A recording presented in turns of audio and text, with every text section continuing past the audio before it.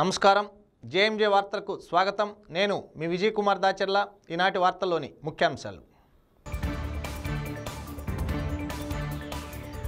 ప్రకాశం జిల్లా నూతన ఎస్పీగా బాధ్యతలు స్వీకరించిన కోయ ప్రవీణ్ కుమార్.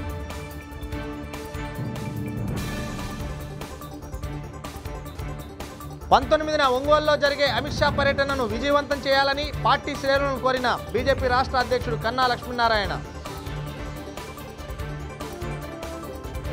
ఒంగోలులో మాజీ మంత్రి జీవి శేషు విగ్రహావిష్కరణ హాజరైన పలువురు ప్రముఖులు. ఎన్నికలను సమర్థవంతంగా నిర్వహించడమే ముందున్న తక్షణ కర్తవ్యమని నూతనంగా బాధ్యతలు స్వీకరించిన ప్రకాశం జిల్లా ఎస్పీ కోయ ప్రవీణ్ కుమార్ అన్నారు. ఎటువంటి అవాంఛనీయ సంఘటనలు తలెత్తకుండా చర్యలు చేపట్టనున్నట్లు ఎస్పీ తెలిపారు. ఈ సందర్భంగా పలువురు పోలీస్ అధికారులు ఎస్పీను అభినందించారు. నిష్పక్షపాతంగా ఎలక్షన్ జరగాలండి. ప్రజా తీర్పు అనేది పవిత్రమైంది. దాన్ని మనం గౌరవించాలి. ఆ తీర్పు పవిత్రంగా స్వేచ్ఛాయుత వాతావరణంలో ప్రతి ఒక్క ఓటర్ మహాశయుడు కూడా వచ్చి స్వేచ్ఛాయుత వాతావరణంలో వారికి నచ్చిన వారికి ఓటేసుకోవటానికి స్వేచ్ఛాయుతంగా ఓటేసుకోవటానికి ఒక అనుగుణమైన వాతావరణం కలిగించడం అనేది యంత్రాంగం యొక్క ప్రధానమైన బాధ్యత. అందులో ముఖ్యంగా జిల్లా కలెక్టర్ జిల్లా ఎస్పీఎఫ్ దీనికి ప్రధానమైన కారకులు. మేమిద్దరం ఈ ఇద్దరు అధికారులు కూడా ఒక స్వేచ్ఛాయుతమైన వాతావరణం సృష్టించాల్సి ఉంది దానికోసం అయితే మేము సాయశక్తుల ఎటువంటి శక్తి వంచన లేకుండా కూడా మేము కృషి చేస్తాం. మనం ఒక ఇంకొక మెట్టు పైకి ఎదగాల్సిన అవసరం. ఇప్పుడు పేరులో గుప్తా సిన్హా లేకపోతే ఖాసిము తెలియని పేర్లు ఉంటే వాళ్ళు నిష్పక్షపాతంగా ఉంటారు. లేకపోతే రామసుబ్బారెడ్డి రామ సుబ్బారెడ్డి లేకపోతే వెంకటేశ్వరరావు అంటే వాళ్ళ పక్ష అనేది తప్పు. సో మన యొక్క సమాజంలో మన యొక్క సమాజంలో ఒక రకమైన ఇది ఉంది ఏంటంటే తెలియని పేర్లు అంటే మనం మోజు ఎక్కువ చూపిస్తాం. అది తప్పు. మనం ఆ స్టేజ్కి రావాలి. మీరు ఒక వ్యక్తిని వారి యొక్క వారి యొక్క ఈ వ్యవహార శైలిని పూర్తిగా పరిశీలించిన తర్వాతే మనం ఒక నిర్ణయానికి రావాలి. పేరు చూసేసి వీరు వారికి వారికి అనేది మన ఈ రాష్ట్రంలో చాలా ఇబ్బంది ఉంది ఇంకా చెప్పాల్సి వస్తే ఉత్తరాదిలో మనకన్నా క్యాస్టిజం ఎక్కువ. మనకన్నా దారుణంగా ఉంటుంది. ప్రతిదీ కూడా మనకన్నా ఎక్కువ జరుగుతుంది సో దాన్ని చూసేసి ఇలా మనం ఒక నిర్ణయానికి ఎప్పుడు రాకూడదు. సో మన నా యొక్క మనం ఏంటంటే మన యొక్క సమాజం ఎస్పెషలీ ముఖ్యంగా పత్రికా సోదరులు కూడా ఇప్పుడు నా యేసుబాబు ఉన్నాడు నా దగ్గర ట్రైనింగ్ అయిన అబ్బాయి. చాలా మై బెస్ట్ ఆఫీసర్ కింద ఆయనకి పదికి పది వేసాను నేను. సో ఇప్పుడు ఆయన ఒక వర్ణం నేను ఒక వర్ణం సో వర్ణాన్ని బట్టి ఏదో ఊహించి కల్పితాలనేది మనం చేయకూడదు. ఒక వ్యక్తి ఆయన యొక్క పరిపాలన తీరుని ఆయన యొక్క నిష్పక్షపాత వ్యవహారాన్ని మీరు క్షుణ్ణంగా చూసిన తర్వాతే రావాలి. తర్వాత మన ఇది ఏదో తెలుగేతరుల మీద మీరు ఏదో ఊహించేసుకుని ఏదో చేస్తారనుకోవటం తెలుగు వాళ్ళు అయితే ఇదే రకంగా ఉంటారనుకోవటం అనేది పూర్తిగా తప్పు. అది నేను రిక్వెస్ట్ చేస్తాను లక్కదండి సొంత తెలుగు వాళ్ళు ఉన్నారు ఐఏఎస్లు ఐపీఎస్లు ఉన్నారు. మన రాష్ట్రంలో ఒక రకమైన ఒక సంకుచిత భావం ఉంది. తెలుగేతరులు అంటే ఒక రకమైన విపరీతంగా మోజుపడతారు. తెలుగు వాళ్ళు అంటే వాళ్ళ కులగోత్రాల నుంచి వాళ్ళ కుటుంబ నేపథ్యంలో రకరకాలు కడతారు. అది పూర్తిగా తప్పు. మనం దాని నుంచి పైకి ఎదగాల్సిన అవసరం ఉంది. ఇది నా యొక్క మనమే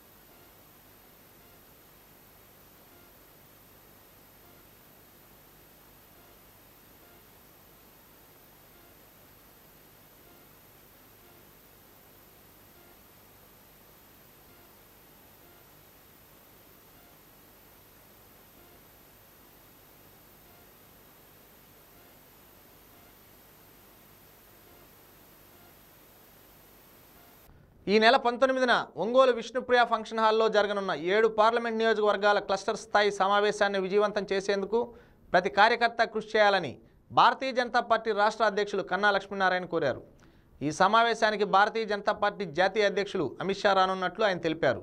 సమావేశ ఏర్పాట్లు ఇతర అంశాలను పరిశీలించేందుకు ఒంగోలు వచ్చిన లక్ష్మీనారాయణ ఫంక్షన్ హాల్లోని జిల్లాకు చెందిన ముఖ్య నాయకులతో సమావేశమయ్యారు. మంగళవారం ఉదయం పది గంటల నుండి సాయంత్రం వరకు జరిగే సమావేశానికి జీవీఎల్ నరసింహారావు తదితర నాయకులతో పాటు ఏడు పార్లమెంట్ నియోజకవర్గాలకు చెందిన రెండు వేల ఒక్క మంది బూత్ కమిటీ సభ్యులు హాజరవుతారని తెలిపారు.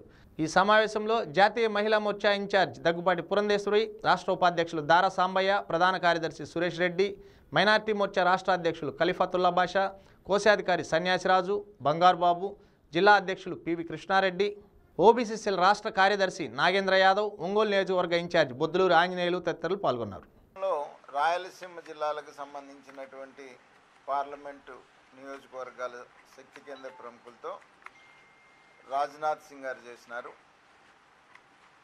అలాగే ఉత్తరాంధ్రకు సంబంధించినటువంటి పార్లమెంటు కాన్స్టిట్యున్సీ శక్తి కేంద్రాలు అమిత్ షా గారు చేశారు. పంతొమ్మిదో తారీఖు మచిలీపట్నం నుండి నెల్లూరు వరకు ఉన్నటువంటి ఏడు పార్లమెంటు నియోజకవర్గాల శక్తి కేంద్ర ప్రముఖులతో కేంద్ర ఆర్థిక శాఖ మంత్రి ఎంఓఎస్ స్టేట్ మంత్రి శ్రీ శివప్రతాప్ శుక్లా గారు ముఖ్య అతిథిగా ఉండి పంతొమ్మిదో తారీఖు ఒంగోలులో జరిగేటువంటి ఈ శక్తి కేంద్ర ప్రముఖుల యొక్క రివ్యూ మీటింగ్ ఇక్కడ జరుగుతుంది. దీంట్లో ప్రధానంగా ఇక రెండు మాసాల్లో జరిగేటువంటి ఎన్నికల్లో కార్యకర్తలకి ఒక దశ దిశ ఇచ్చేటువంటి కార్యక్రమం వాళ్ళని ఎన్నికలకు సమాయత్తం చేసేటువంటి కార్యక్రమం ఈ రెండు కూడా ఇక్కడ జరుగుతాయి. దానికి ఏడు పార్లమెంటు నియోజకవర్గాల కన్వీనర్లు ఇన్ఛార్జెస్ ఆ నియోజకవర్గంలో ఉన్నటువంటి శక్తి కేంద్ర ప్రముఖులు ఒంగోలు వస్తారు. అది ఇరవై పంతొమ్మిదో తారీఖు జరిగేటువంటిది ఉంటుంది. ఇరవై ఒకటో తారీఖు రాజమండ్రిలో అమిత్ షా గారు మిగిలిన ఏవైతే ఉన్నాయో కాకినాడ రాజమండ్రి అమలాపురం నరసాపురం ఏలూరు విజయవాడ విజయవాడ ఏలూరు దాకా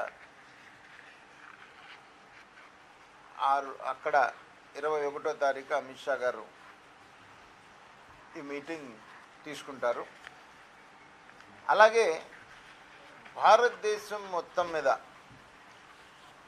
ఈసారి ప్రజల గుండె చప్పుడు నరేంద్ర మోడీ గారు తెలుసుకొని వారికి అనుగుణంగా వారి ఆలోచనకు అనుగుణంగా పంతొమ్మిది నుంచి ఇరవై నాలుగు వరకు ఎన్నికల మేనిఫెస్టో తయారు చేయాలనేటువంటి ఒక ఉద్దేశంతోనే ఈ మధ్యనే మూడు రోజుల క్రితం రామ్ మాధవ్ గారు విశాఖపట్నం విజయవాడ మీటింగ్ చేశారు. ఇరవై ఐదో తారీఖు ఈయన ప్రకాష్ జవదేకర్ గారు గుంటూరులో ఇంటలెక్చువల్స్ తోటి ఆయన ఒక మీటింగ్ చేస్తారు. ఇరవై ఏడో తారీఖు పురుషోత్తం రూపాల గారు తిరుపతిలో సమాజంలో ఉన్నటువంటి వివిధ రంగాల్లో ఉన్నటువంటి పెద్దల ఆలోచన ఏదైతే పద్నాలుగు నుంచి పంతొమ్మిది వరకు జరిగినటువంటి ఐదు సంవత్సరాల ఎన్డీఏ ప్రభుత్వం నరేంద్ర మోడీ గారి నాయకత్వంలో ప్రధానంగా నాలుగు అంశాల మీద ఆయన దృష్టి సారించారు. ఒకటి పేదరిక నిర్మూలన రెండు సంపూర్ణ గ్రామీణాభివృద్ధి మూడు పారిశ్రామికీకరణ నాలుగు దేశ భద్రత. ఈ నాలుగు ప్రధాన అంశాల మీద ఆయన దృష్టి సారించారు. నరేంద్ర మోడీ గారు వచ్చిన తర్వాత ఇందాక మేము చెప్పాం దేశ అంతర్గత పాకిస్తాన్ ప్రేరేపిత ఉగ్రవాదం ఏదైతే ఉందో దాన్ని ఖచ్చితంగా నరేంద్ర మోడీ గారి నాయకత్వంలో రూపుమాపటం జరుగుతుంది. ఇంతకుముందు కూడా ఒకసారి ఇటువంటి పిచ్చి పని చేసి ముగ్గురు తలకాయలు భారత సైనికులది కోసుకొని వెళ్ళినప్పుడు ఆ రోజున కూడా చెప్పారు నరేంద్ర మోడీ గారు మీ మీ త్యాగాలు ఊరికే పోవు ఖచ్చితంగా రెవెంజ్ తీర్చుకుంటామని సర్జికల్ స్ట్రైక్ చేసి పాకిస్తాన్ భూభాగంలోకి చొరబడి అక్కడ ఉన్నటువంటి టెర్రరిస్ట్ గ్రూపులన్నింటిని కూడా మట్టు పెట్టి తిరిగి వచ్చి సవాలు ఎదుర్కోమని చెప్పినాడు ఆ రోజున కూడా చాలా కేటగారికల్గా చెప్తున్నారు ప్రధానమంత్రి గారు. ఖచ్చితంగా మీ ప్రాణత్యాగం ఊరికే పోదు.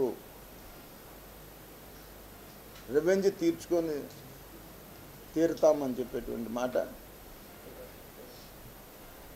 జరుగుతుంది. చూసినారు కదా అయినప్పటి నుంచి పద్నాలుగో తారీఖు అయినప్పటి నుంచి కూడా కాశ్మీర్లో మరి వెల్లడిపెట్టి ఇప్పటికే ఒక ఐదుగురు ఉగ్రవాదుల్ని మట్టు పెట్టడం జరిగింది. తతిమా వాళ్ళందరిని కూడా అరెస్ట్ చేయటం జరిగింది.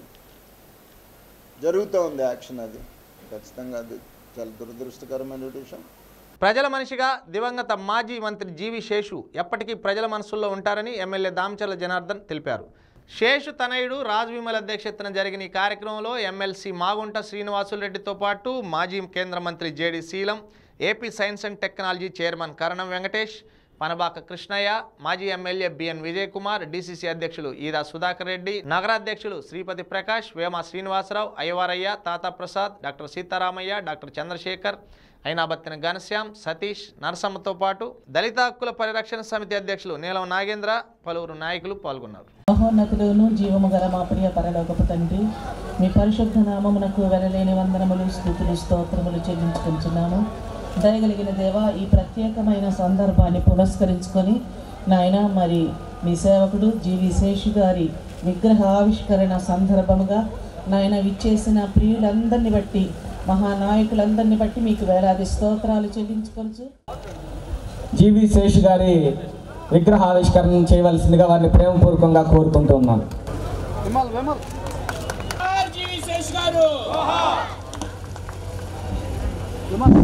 జోహార్ జీవి శేష్ గారు!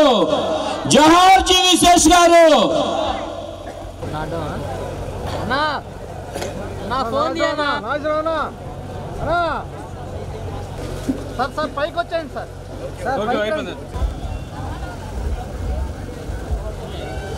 జోహార్ జీవి శేష్ గారు! జోహార్ జీవి శేష్ గారు!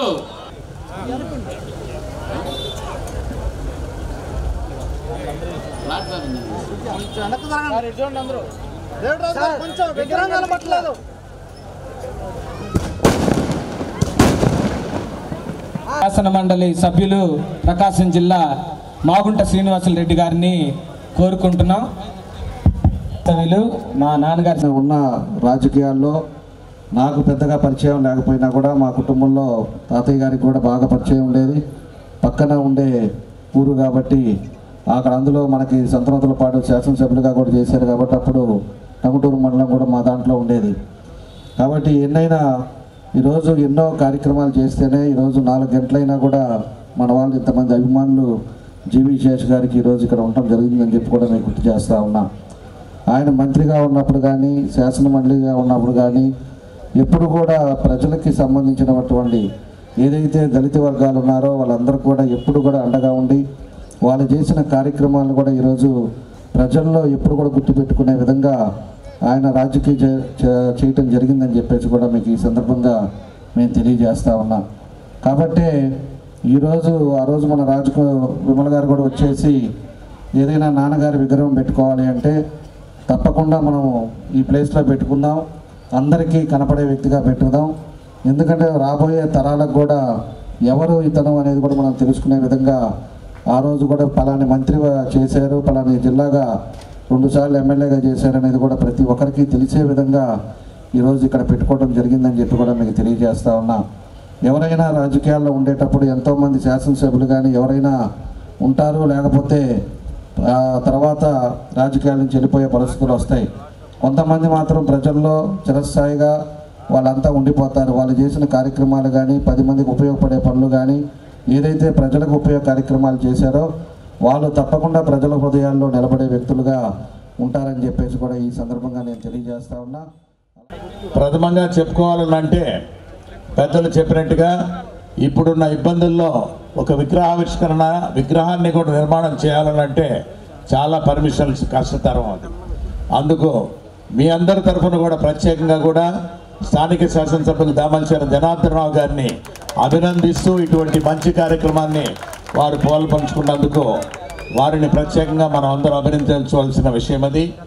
ఇక జీవి శేషి గారి విషయాన్ని చూసుకుంటే మాగుంట కుటుంబంతో వారికి ఉన్న సంబంధాలు ఏమిటంటే మా అన్నగారు కీర్తిశేషులు మాగుంట సుబ్రామరెడ్డి గారు పంతొమ్మిది వందల తొంభై ఒకటో సంవత్సరంలో పార్లమెంట్ సభ్యుడిగా పోటీ చేస్తున్నప్పటి నుంచి వారి కుటుంబంతో మా కుటుంబం కూడా ఎంతో మమేకమై ఉన్నది.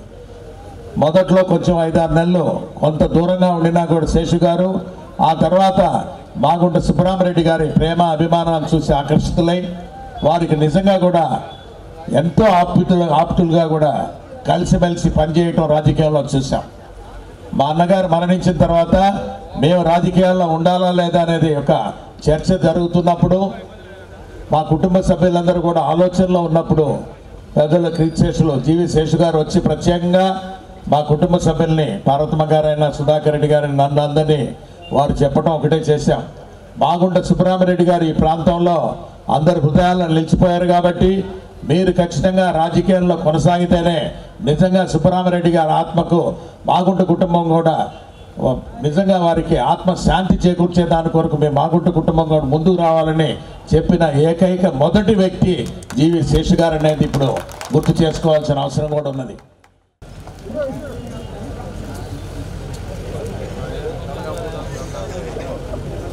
కనబాక కృష్ణయ్య గారికి.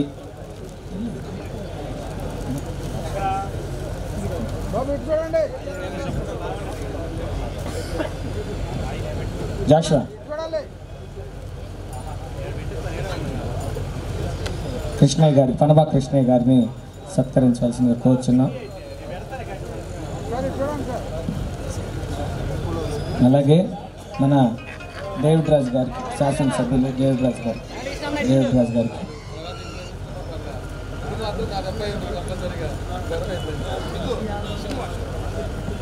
సింగ్ మాస్టర్. గారు సింగ్ మాస్టర్ గారికి కూడా. అలాగే శ్రీపతి ప్రకాష్ గారికి. శ్రీపతి ప్రకాష్ గారికి.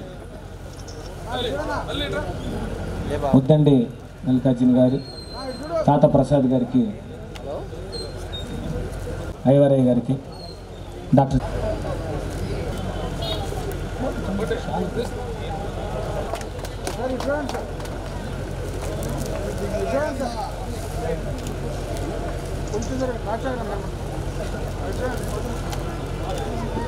ఆయన సభాముఖంగా ఓపెన్ డయాస్ మీద జీవి శేషు గారి విగ్రహాన్ని ఏపించడానికి మీరు సహకరించాలి సార్ అని చెప్పారు. డయాస్ మీద ఆయన ఆలోచించకుండా తప్పనిసరిగా మీకు అనుమతి ఇస్తాను. ఆయన విగ్రహం నెలకొల్పడానికి మీకు నేను సహకరిస్తానని చెప్పారు. వారికి ఒకసారి గట్టిగా మీ అందరూ కూడా సభాముఖంగా మరి చప్పట్లు కొట్టి వారి కృతజ్ఞతలు తెలియజేయవలసిందిగా కోరుచున్నాము. మరి ఈరోజు ఒంగోలు ఈ విధంగా అభివృద్ధి చెందుతుందంటే మరి నిజంగా ఆయనకు ఒంగోలు నియోజకవర్గం పట్ల ఉన్నటువంటి ప్రేమ మరి ఆ యొక్క ఇంట్రెస్ట్ మరి ఆ కసి అనేది ఆయన ఈరోజు అభివృద్ధిలో మనం చూడొచ్చు. ఒంగోలులో ఎటు చూసినా కూడా మరి ఒంగోలుని అభివృద్ధి పదంలో ముందుకు తీసుకెళ్తున్నటువంటి వ్యక్తి మరి దామచర్ల జనార్దన్ గారు అని మీ అందరికి కూడా సభాముఖంగా తెలియజేసుకుంటూ మరి అటువంటి పరిస్థితుల్లో ఒక మంచి వ్యక్తిగా అందరినీ స్టూడెంట్స్గా కూడా ఆయన నిజ జీవితంలో ఒక మాస్టర్గా అందరికీ విద్యార్థి ఎంతోమంది విద్యార్థులను తయారు చేసిన వ్యక్తి శ్రీ జీవిశేష్ గారు. జీవిశేష్ గారు కాంగ్రెస్ పార్టీలో జిల్లా అధ్యక్షుడిగా పనిచేసి తర్వాత మంత్రిగా కూడా పనిచేసిన వ్యక్తి. శేషు గారు మంత్రిగా ఉన్నప్పుడు ఎన్నో ఈ జిల్లాకు సంబంధించి ఎన్నో అభివృద్ధి కార్యక్రమాల్లో పాల్పంచుకోవడం జరిగింది. ముఖ్యంగా ఈ ఈ విగ్రహావిష్కరణ కార్యక్రమంలో నేను పాల్గొనుకోవడం నాకు చాలా సంతోషంగా తెలుపుకుంటూ. మాకు తెలిసి శేషు మాస్టర్ గారితో కాంగ్రెస్ పార్టీలో ఆయన ఒక బ్లాక్ ప్రెసిడెంట్గా స్టార్ట్ అయ్యి మినిస్టర్ హోదాకి ఎదిగి ఆయన చెప్పేవాడు అనమాట చాలామంది కార్యకర్తల సమావేశాల్లో క్రమశిక్షణతో పనిచేస్తే ఎక్కడైనా ఒక నిబద్ధతతో పనిచేస్తే మన గోలు మనకు ఉంటుందయ్యా అని చెప్పి చెప్పేవాడు. అలాంటి వ్యక్తి గురించి ఎందుకంటే ఆయనతోటి సుమారు ఒక నా వయసుకు తగ్గట్టు ఒక ఇరవై ఏడు ఇరవై ఎనిమిది సంవత్సరాలు ఆయనతోటి కలిసి ప్రయాణం ప్రయాణం చేశామాట చాలా మంచి వ్యక్తి విద్యావంతుడు. ఆయన ఎంత హోదాలో ఉన్నా అదే స్థాయిలో చిన్న స్థాయిలోనే అందరినీ పలకరించేవాడు. అరవై ఏడు అరవై ఎనిమిదిలో ఆయనకి డిగ్రీ బీకామ్ పూర్తయిపోయింది. బీకామ్ పూర్తయిన తర్వాత మరి కావలి ఏబిఎంలో వారు ఇంగ్లీష్ టీచర్గా మాకు అదే సంవత్సరం ఎస్ఎస్ఎల్సి ఎగ్జామినేషన్ రాయాల్సిన పరిస్థితుల్లో అక్కడ హెడ్ మాస్టర్ గారు అయినటువంటి రావు రత్నకవి గారి యొక్క కుమారుడు కృపారావు గారు మరి కావలి హెడ్ మాస్టర్గా ఉండేవారు. అప్పుడు మాకు ఇంగ్లీష్ టీచర్గా నాకు ఇంగ్లీష్ గ్రామర్ నేర్పినటువంటి వ్యక్తి. పంతొమ్మిది వందల అరవై ఏడు నుంచి ఆయన మరణించే వరకు కూడా మరి ఒకే పందాలు నడిచాం. తర్వాత కాలేజీకి వచ్చిన తర్వాత కాలేజీలో దాదాపుగా కావల కాలేజీలో దళిత జాతికి చెందినవాడు అందరూ కూడా స్టూడెంట్ ఫెడరేషన్లో ఉండేవారు. కానీ కావల కాలేజీ చరిత్రలో దళిత జాతిలో కాంగ్రెస్ పార్టీలోనే ఉన్నటువంటి ఏకైక వ్యక్తి ఎవరన్నా ఉన్నారంటే తరపున కాంగ్రెస్ పార్టీ తరపున. కాంగ్రెస్ పార్టీ మాజీ అధ్యక్షులు మాజీ మంత్రివర్యులు జీవి శేష్ గారి విగ్రహావిష్కరణ కార్యక్రమానికి విచ్చేయటం చాలా ఆనందంగా ఉంది మరియు బాధగా కూడా ఉంది. ఎందుకంటే ఆయన కాంగ్రెస్ పార్టీ జిల్లా అధ్యక్షులుగా ఉన్నప్పుడు నేను యువజన కాంగ్రెస్ అధ్యక్షులుగా ఉన్నాను. ఆయన ఎప్పుడు కూడా అయ్యా సుధాకర్ అనేవాడు. ఎంతో సౌమ్యంగా చాలా మెత్తగా ఎటువంటి కాంట్రవర్సీ లేకుండా మరి ప్రకాశం జిల్లా కాంగ్రెస్ పార్టీ అధ్యక్షులుగా ఉన్నప్పుడు జిల్లా పార్టీ నడపడం అనేది సామాన్యమైనటువంటి విషయం కాదు. అలాగే మంత్రివర్యులుగా కూడా ఉన్నప్పుడు ఎస్సీ ఎస్టీ బీసీ మైనారిటీల అభ్యున్నతికి పాటుపడినటువంటి పెద్దలు జీవి శేష్ గారు. ఎంతోమంది మహానాయకులు ఉన్నారు. ఎంతోమంది మంత్రులుగా పనిచేశారు. మరి చాలామంది వారి పిల్లలు ఎమ్మెల్యేలుగా ఉన్నా లేకపోతే రాజకీయాల్లో ఉన్నా కూడా వాళ్ళ విగ్రహాలు పెట్టుకోలేనటువంటి పరిస్థితుల్లో వాళ్ళు ఉన్నారు. కానీ మా సోదరుడు రాజు విమల్ గారు మరి వారి తండ్రి గారైనటువంటి జీవి శేష్ గారి ఖ్యాతిని ప్రకాశం జిల్లా మొత్తం కూడా తెలియచేయాలి. మరి ఆయన చేసినటువంటి పనులు కానీ ఆయన మంత్రిగా ఉన్నటువంటి మంత్రిగా ఉన్నప్పుడు ఆయన ఏ విధమైనటువంటి కార్యక్రమాలు చేసి అభివృద్ధి సంక్షేమ కార్యక్రమాలు ప్రజలకు అందించాడో మరి చిరస్మరణీయుడిగా జీవి శేష్ గారు ఉండాలంటే ఆయన విగ్రహాన్ని నేను ఏర్పాటు చేయాలన్నటువంటి కృత నిశ్చయంతో మరి ప్రతిపక్షంలో ఉన్నా కూడా అధికార అధికార పార్టీ అయినటువంటి శాసనసభ్యులు జనార్దన్ గారి సహకారం అధికార పార్టీలో ఉన్నటువంటి నాయకుల సహకారం తీసుకొని తిమ్ము సంవత్సరం ఘటనలో దళితుల మీద బాంబుల దాడి జరిగినప్పుడు అక్కడ కూడా అక్కడున్న నాయకులకు వ్యతిరేకంగా అగ్రకుల నాయకులకు వ్యతిరేకంగా పోలీసులు నిర్బంధానికి వ్యతిరేకంగా పోలీసుల మీద కూడా తిరగబడ్డారు ఎమ్మెల్యే మన జీవశేష్ గారు. అదేవిధంగా ఒకసారి ఒక ఉద్యోగస్తులు కొంతమందిని నక్సలైట్లకు సహకరిస్తున్నారని వాళ్ళకి బూట్లు ఆయుధాలకు సహకరిస్తున్నారని పోలీసులు అరెస్ట్ చేస్తే ఎస్పీ దగ్గరికి వెళ్ళారు. ఆయన వాళ్ళకి ఆయుధం మనకు పూర్తి సమాచారం ఉందండి వాళ్ళంతా కూడా అప్పుడు జీవశేష్ గారు భయపడలా. సార్ దళితులు ఉంటే క్రైస్తవులుగానే ఉంటారు కొంతమంది. ఇంకొంచెం మంది నక్సలెట్లుగానే ఉంటారు. అట్టిడు కాకుండా ఉండరండి. అంబేద్కర్వాదులుగా నేను చెప్తున్నాను ఇప్పుడు కానీ వాళ్ళని అరెస్ట్ చేస్తే వాళ్ళు ఉద్యోగాలు పోతాయండి. కాబట్టి వాళ్ళని విడుదల చేయని చెప్పంటే వాళ్ళని బైండ్ చేసి జీవశేషి గారు చాలామందిని బయట తీసుకొచ్చారు. చాలామంది మేము కావాలి జవహర్ భారత్లో చేరాం మేము విప్లవాదులు అంటారు కానీ వాళ్ళు వాళ్ళ విప్లవాలు ఉద్యోగాలుగా పరిమితం చేస్తున్నారు కానీ జవహర్ భారత్లో చదివిన వాళ్ళలో మన జీవశేషి మాస్టర్ గారు ఒక నాకు తెలుసు. ఎందుకంటే తాను చాలామంది వాళ్ళ నియోజకవర్గాలుగా పరిమితం అవుతారు. జిల్లాలో ఎక్కడ ఏది జరిగినా కానీ నేను ఉన్నానంటూ దళితులు కనుక అప్పుడు ఒక నియోజకవర్గం ఉండేది సంతనవరపాడు. శేషు గారి చరిత్ర ఎరిగి ఆయన చేసినటువంటి ప్రజాసేవ వాటన్నింటినీ కూడా గుర్తుకు తెచ్చుకొని వెంటనే మున్సిపాలిటీ వాళ్ళు ఎన్ని అవాంతరాలు ఎదురొడ్డినా వాటన్నింటినీ కూడా కాదని శేషగారి విగ్రహానికి పర్మిషన్ ఇవ్వాల్సిందని చెప్పి మరి అనుమతినిప్పించి మరి ఈరోజు ఇంతమంది మధ్యలో ఆ ఆవిష్కరణ కార్యక్రమం చేసుకోవడానికి అవకాశం కల్పించినటువంటి ఒంగోలు శాసనసభ్యులు పెద్దలు దామచర్ల జనార్దన్ రావు గారికి అట్లాగే పెద్దలు మా గురుతుల్యులు ఈ జిల్లాలో అన్ని విధాలుగా అభివృద్ధిని కాంక్షించి విద్య పరంగా త్రాగునీటి పరంగా ఆర్థిక సహాయాల పరంగా అన్ని విధాలుగా కొన్ని దశాబ్దాలుగా ఈ జిల్లాని దత్తత తీసుకున్నట్లుగానే వారు అహర్నిశలు ఈ జిల్లా ప్రజానికం కోసం పనిచేస్తున్నటువంటి పెద్దలు జీవిశేష్ గారి అభిమానులకు దళిత నాయకులకు అందరికి కూడా హృదయపూర్వక వందనాలు. జీవిశేష్ గారు నిజంగా నాకు మా కుటుంబానికి ఇరవై ఐదు సంవత్సరాలుగా అనుభవం ఉంది. నేను పంతొమ్మిది వందల ఎనభై నాలుగులో సివిల్ సర్వీస్ అయిన తర్వాత ఐఆర్ఎస్గా సెలెక్ట్ అయిన తర్వాత వారు రైల్వే నిలయంకి వచ్చారు నన్ను అభినందించేదానికి. అప్పటి నుంచి కూడా మాకు చాలా అనుబంధం ఉంది. ఆయన అంచెలంచెలుగా కాంగ్రెస్ పార్టీలో ఎదిగి రెండుసార్లు ఎమ్మెల్యేగా ఒకసారి ఎమ్మెల్సీగా చేసి మరి మంత్రివర్యులు కూడా ఆంధ్రప్రదేశ్ రాష్ట్రానికి అప్పట్లో చేయడం జరిగింది. మరి పాడి పరిశ్రమ కప్పడానికి మంత్రులుగా ఇచ్చారు. ఆ సమయంలోనే వారు నెల్లూరు జిల్లాకు కూడా అప్పటి మాజీ ముఖ్యమంత్రి వర్యులు జనార్దన్ రెడ్డి గారి క్యాబినెట్లో ఉన్నప్పుడు కూడా వారు అక్కడికి రావడం జరిగింది. నేను పాలిటిక్స్ ఎంటర్ అయినప్పటి నుంచి అంతకు ముందు కూడా నాకు బాగా తెలుసు ఆయన. చాలామంది ఆయన గురించి చెప్పారు. అనేక విషయాలు. నేను కూడా కొన్ని విషయాలు చెప్తాను. ఒకటైతే ఖచ్చితంగా ఆయన ఒక మంచి వ్యక్తి.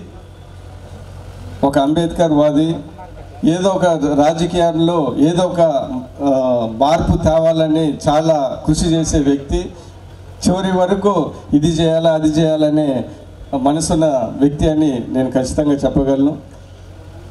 జీవిశేషి గారితో నాకున్న పరిచయం ఏంటిదంటే మొదటిది ఇందాక మన ఆ, వేమా శ్రీని చెప్పినట్టు నేను కాంగ్రెస్ పార్టీలో జాయిన్ అయినప్పుడు నేను అప్పుడైనా ఏదైనా టికెట్ కావాలంటే ఏదైనా పార్టీ పొజిషన్ ఉంటే బాగుంటుందని జీవిశేషి గారిని వేరే వాళ్ళని అడిగితే సో డైరెక్ట్గా నాకు వైస్ ప్రెసిడెంట్ కాంగ్రెస్ పార్టీ ఇచ్చారు ఆ రోజుల్లో. దాని తర్వాత ఎమ్మెల్యే అయినా అది వేరే విషయం. కాంగ్రెస్ పార్టీతో ప్రారంభమైంది. నా రాజకీయ జీవితం తెలుగుదేశం పార్టీతో ప్రారంభమైంది. ఇద్దరం కూడా పోటీ పడ్డాం.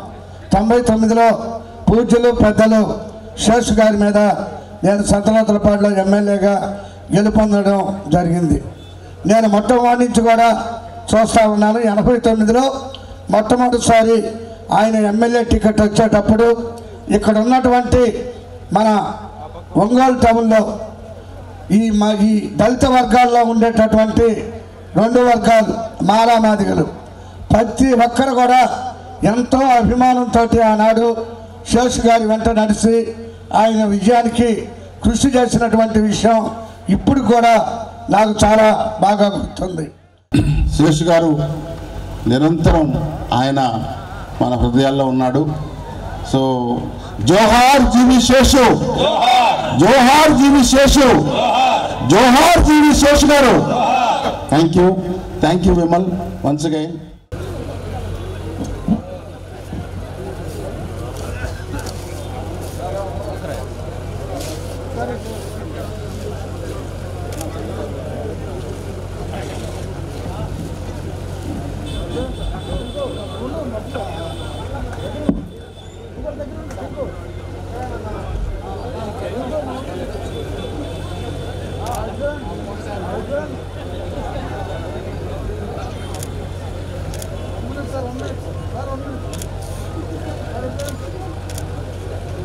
ఆయన స్వర్గస్థులైన రోజు ఆ రోజు మేము కూడా వెళ్ళటం జరిగింది.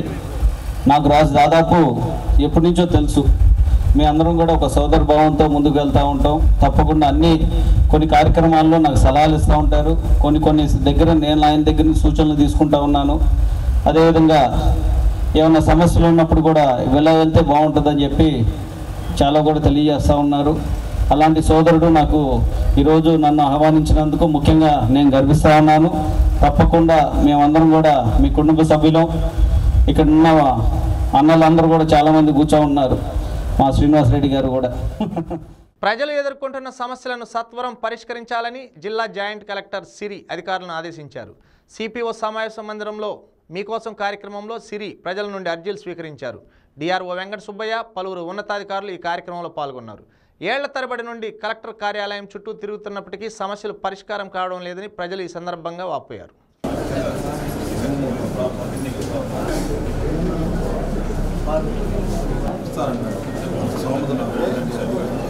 కొన్ని రోజులు ఆగాయా నేను ఇస్తాను ఆ ఫోటోలను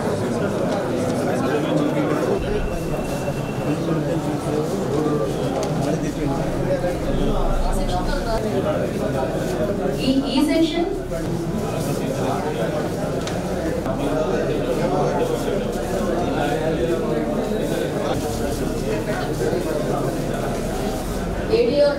మైన్స్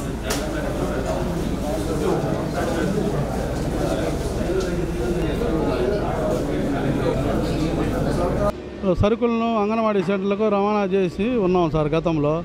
నాకు రెండు వేల పదహారో సంవత్సరం ఏడో నెల ఎనిమిదో నెల బిల్లుల గురించి దగ్గర దగ్గర కలెక్టర్ గారిని ఎనిమిది సార్లు కలిసి ఉన్నాను సార్. అలాగే పీడీ గారిని కలిసాము అక్కడ మా సో ఐసిడిఎస్ పీ మేడం గారిని పొదిలి మేడం గారిని కలిసాము ఆయన నా సమస్యకు పరిష్కారం చూప చూపట్లేదు ఎన్నిసార్లు అక్కడి నుంచి మాకు ఒంగోలుకి దగ్గర దగ్గర యాభై కిలోమీటర్ల దూరం సార్. ఇక్కడికి రావాలంటే ఒక రోజు వల్ల మేము ఇది చేసుకొని వచ్చి వెళ్ళినా కానీ మాకు ఇక్కడ అర్జీలు ఇవ్వటమే కానీ మా సమస్యకు పరిష్కారం అనేది అసలు కనపడట్లేదు సార్ ఇక్కడ. దయచేసి ఈసారైనా మా సమస్యకు పరిష్కారం చూపించగలరని చెప్పని మీ ద్వారా వేడుకుంటున్నాం సార్. జవలాపురం అనే పొలం జవలాపురంలో పొలం ఉంది మాకు.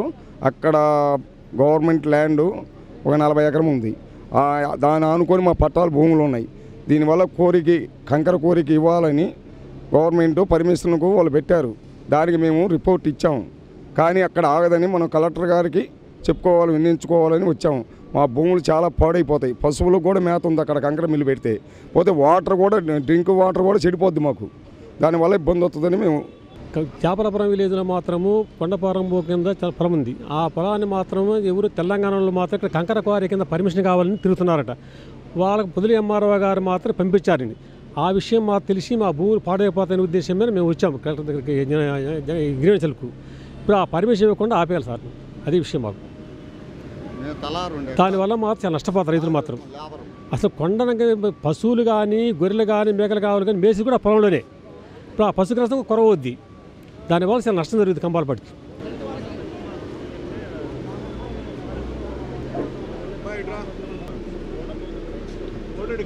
యా పంతొమ్మిది ఎనభై ఎనిమిది ఎనభై తొమ్మిదిలో సర్వీస్ కమిషన్ నుంచి ఇరవై ఐదో ర్యాంక్తో నేను సెలెక్ట్ అవ్వటం జరిగింది డిపార్ట్మెంటల్గా. మరి అప్పటి నుంచి ఎన్ని శాఖల్లో మారుతూ పనిచేసినా కూడా నా జీతభత్యాలు అనేవి చాలా దుర్లభంగా ఉన్నాయి. మరి నాకు వచ్చిన చెక్ బుక్ల దాని మీద తీసుకుంటే వాళ్ళు ఆఫీస్ చెక్ మీద తెచ్చుకోమని ఇలా అలా తిప్పుతూ ఉన్నారు. మరి రీసెంట్గా సూపరింటెండెంట్ పోస్ట్ పామూరులోనే ఎంఆర్ఓ ఆఫీస్లో ఇచ్చారు. మరి నా పొలము మూడు స మూడు చోట్ల పామూరు మండలంలో పామూరు గ్రామంలో bypass NH five five hundred sixty five అనే ఎన్హెచ్ సిక్స్టీ ఫైవ్ అనే బైపాస్లో అరవై సెంట్లు నిలబోయింది తర్వాత అండి దేవుడి చెరువు మట్ల వెంకట సుబ్బయ్య గారి వీధండి మాది. అక్కడ మూడు నెలలుగా మున్సిపల్ ట్యాప్ వాటర్ ఈ రకంగా వస్తున్నాయండి. కంప్లైంట్ చేస్తే మీరు ఒక్కళ్ళే చెప్తున్నారు అంటున్నాడు ఫోన్ చేసిన అబ్బాయి ఫిట్టరు సరే అక్కడ ఏంటంటే అందరం పసిబిడ్డలు అయితే హాస్పిటల్ పాలవుతున్నారు. ఈ నీళ్ళు అసలు నోట్లో పోసుకుని మొహం కడుక్కోవాలి కాదు. బబుల్ వాటర్తో మొహం కడుక్కుంటున్నాం. ఈ పేదవాళ్ళు కూడా బబ్బులు తెచ్చుకొని అదే వండుకు వండుకోవడానికి వాడుకోవడానికి అదే తాగడానికి అవి వాడుకుంటున్నారు. ఈ నీళ్ళే పట్టుకొని ఇంకా కడుక్కోవడానికి వాటికి అవే గతి లేక ఇవే వాడుకుంటున్నారు. ఇవి ఊరి చెరువుల నీళ్ళకి తేడా లేదండి. అసలు ఫిల్టర్ వాటర్ మాకు సప్లై చేసి వన్ ఇయర్ అండి. రా వాటరే సప్లై చేస్తున్నారు. సరే వాచ్ ఓర్చుకున్నాం. ఇంకా మరీ డ్రైనేజ్ వాటర్ సప్లై చేస్తుంటే ఎట్లా ఓర్చుకోవాలండి? ఇప్పుడన్నా ఆఫీసర్స్ దృష్టికి తీసుకురావాలి కదా. అందుకని తీసుకొచ్చాం. మున్సిపల్ ఆఫీస్కి వెళ్ళాం. అక్కడ కమిషనర్ లేరు డిఈ లేరు ఎవరు లేరు. అందరూ ఇక్కడ అగ్రిమెంట్ సెల్లో ఉన్నారంటే సరే ఇక్కడికే వచ్చాం. మేడం గారు చెప్పాం మేడం గారు అది వెంటనే చూడమని చెప్పారు. చూస్తాం మరి ఇప్పుడు కన్నా మాకు మీద దగ్గలిగితే మాకు మున్సిపల్ ఫిల్టర్ బెడ్ వాటర్ అసలు ఫిల్టర్ బెడ్ వాటర్ ఇస్తే చాలండి. పేరు గుంజేడుగొండలో ఈ పొలం గురించి ఒక మూడు సంవత్సరాలు బట్టి తిరుగుతూనే ఉన్నామండి. ఏ ఒడ్డు చెక్కలేదు మాకు. తిరిగి తిరిగి ఆడ బొమ్మన్నారు వాళ్ళు ఏడ బొమ్మన్నారు అంతా లెక్క తిరుగుతున్నాం. తిరిగినా కానీ ఆడ పని కాలేదు. వై వైద్యం లెక్కలో సర్వే నెంబర్ పదహారు. కేంద్ర ప్రభుత్వం ఫోర్ జీ స్పెక్ట్రమ్ను బీఎస్ఎన్ఎల్ కేటాయించకుండా ప్రైవేట్ స్పెక్ట్రమ్లకు కేటాయిస్తూ ప్రభుత్వ సంస్థ బీఎస్ఎన్ఎల్ను కట్టడి చేస్తూ ఉద్యోగులను ఇబ్బంది పెడుతోందని కనుక పద్దెనిమిదవ తేదీ నుండి ఈ నెల ఇరవయో తేదీ వరకు మూడు రోజుల సమ్మె నిర్వహిస్తున్నట్లు all unions and associations in BSNL ప్రతినిధులు తెలియజేశారు. ఒంగోలులోని బీఎస్ఎన్ఎల్ ఆవరణలో నిర్వహించిన ధర్నాలో BSNL employees union ACS V Venkaiah SNA DS P Mallik Babu మాట్లాడారు. ఈ ధర్నాలో BSNL employees union DS G Nageswararao P Anjaneyulu T Ravikumar M Chalamaiah పలు యూనియన్ అసోసియేషన్ ప్రతినిధులు కమ్యూనిస్ట్ నాయకులు పునాట ఆంజనేయులు తదితరులు పాల్గొన్నారు. ఈరోజు రేపు ఎల్లుండి పద్దెనిమిది పంతొమ్మిది ఇరవై తారీఖులో దేశవ్యాప్తంగా బిఎస్ఎన్ఎల్ ఉద్యోగులందరూ కూడా సమ్మె చేస్తూ ఉన్నారు. ఈ సమ్మె ఉద్యోగుల జీతభత్యాల కోసమో లేదా వాళ్ళ పని పరిస్థితుల మెరుగుదల కోసం మాత్రమే చేస్తున్న సమ్మె కాదు ఇది. ప్రభుత్వ రంగ సంస్థ అయిన బిఎస్ఎన్ఎల్ అందరికీ తెలిసిన విషయం ఇది. ప్రజల ఆస్తి ప్రజల ఆస్తిని కాపాడటానికి బిఎస్ఎన్ఎల్ ఉద్యోగులు అధికారులు అందరూ కూడా కంకణం కట్టుకొని అందరూ కూడా దేశవ్యాప్తంగా ఒకే వేదిక కిందకు వచ్చి ఐక్య సంఘటనగా ఏర్పడి ఈ సమ్మెను చేస్తూ ఉన్నారు. మన బిఎస్ఎన్ఎల్ని కాపాడి మారుమూల ప్రాంతాల్లో ఉన్న ప్రజలకు కూడా అన్ని రకాల కమ్యూనికేషన్ సౌకర్యాలు కల్పించవలసిన ప్రభుత్వం బిఎస్ఎల్ని అడుగడుగున నిర్వీర్యం చేస్తా డెవలప్ కాకుండా దాని కాళ్ళకి సంఖ్యలు వేస్తా ప్రైవేటు ఆపరేటర్లకి కొమ్ము కాస్తూ వస్తున్నది. బిఎస్ఎన్ఎల్ నష్టాల బాటలో ఉంది అని చెప్తున్నారు. నష్టాల బాట అనేది పంతొమ్మిది వేల కోట్లు మాత్రమే నష్టాలు ఉన్నాయి మిగిలిన ఆపరేటర్లతో పోలిస్తే ఓన్లీ టూ పర్సెంట్ మాత్రమే మనకు నష్టాలు ఉంది మిగిలినవి ఒక్కొక్క ఆపరేటర్ వచ్చి ట్వంటీ సిక్స్ పర్సెంట్ నష్టాల బాటలో ఉన్నాయి. టోటల్ టెలికాం అప్పులతో పోలిస్తే టూ పర్సెంట్ మాత్రమే బిఎస్ఎన్ఎల్కి. ఇంత తక్కువగా అప్పుల్లో ఉన్న కంపెనీని ఒక బూచిలాగా చూపించి బిఎస్ఎన్ఎల్ నష్టాల బాటలో ఉందనేది గవర్నమెంట్ ఆఫ్ ఇండియా చూపిస్తుంది. ఇది కరెక్ట్ కాదు అనేది మా భావన. ఆల్ ఇండియా ఇది రెండో పాయింట్గా చేర్చడం జరిగింది. అంతేకాకుండా ఈ నష్టాల బాట నుంచి తప్పుకు మెరుగుపడి వార్తలు ముగించే ముందు ముఖ్యాంశాలు. మరోసారి ప్రకాశం జిల్లా నూతన ఎస్పీగా బాధ్యతలు స్వీకరించిన కోయ ప్రవీణ్ కుమార్.